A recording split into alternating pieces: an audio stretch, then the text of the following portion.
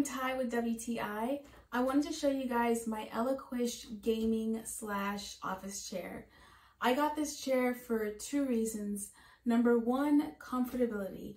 This is such a super comfortable chair. It's soft, it's plush, and I like all of its features, which is my second thing. I like that you can adjust the height.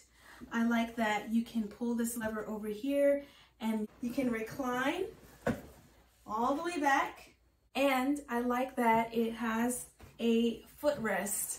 So when you recline, you just pull this footrest from, the, from underneath you and just flip it over.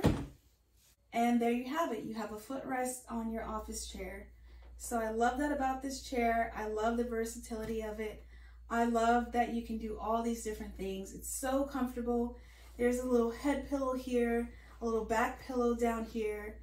I am just so in love with this chair. If you work all day or if you game all day, I think that you will love this chair just as much as I have. And that's my point of view.